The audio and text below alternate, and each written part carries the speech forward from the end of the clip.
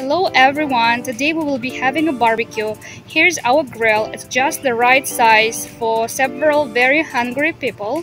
Let's start cooking. This is how we are gonna start the fire. We are stuffing a newspaper and cardboard in the bottom of the chimney. There's a special place inside. Then we're filling the chimney with charcoal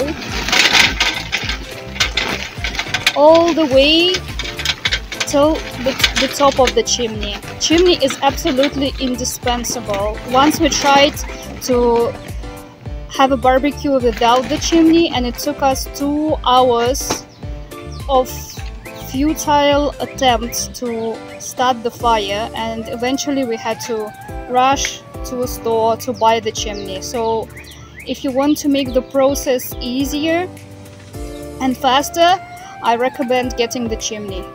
So now carefully light the paper in the bottom of the chimney. The flame will travel upward to ignite the coals hopefully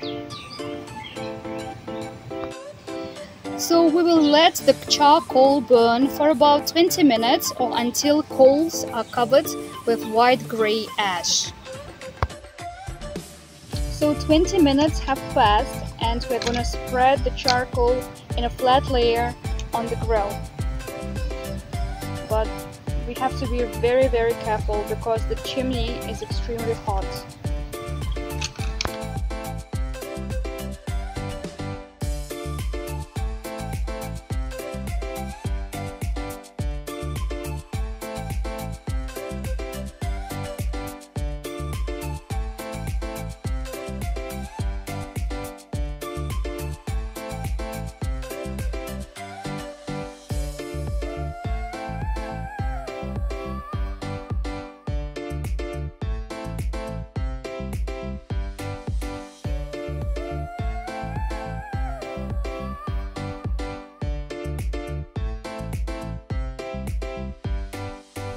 So we've opened the vents for higher cooking temperature because we are very very hungry and want to eat as soon as possible. Oh look at that! So good and smells great.